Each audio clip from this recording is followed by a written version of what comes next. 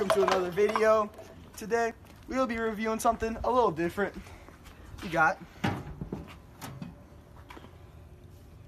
S'mores Pop Tarts. They are great value. Now we'll see how great that value really is. Those look awful.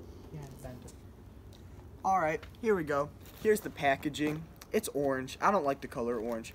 But anyways, it's a 16 pack value pack. Great value. All right, let's crack into that. All right, this should do. All right, so it says s'mores.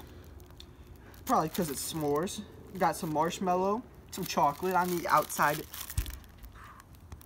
All right, let's crack into this bad boy. It's quite, ugh.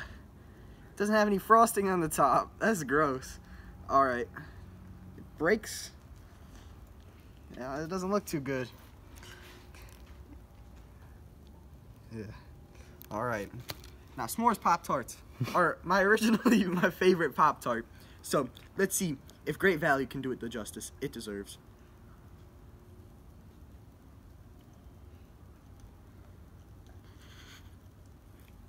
It's not very good. Um, it's really thick. It doesn't have the original Pop Tart taste. Here, you try some of that. Um, yeah, it tastes like cardboard on the outside. I don't. Yeah, you have some of that part. All right. and so, um, basically, my review of it would be about like a two out of ten. Way worse than the Pop Tart cereal. And um, that should leave it off on uh, that note. So leave a like, like, subscribe, and I hope to see you in the next video. Thank you.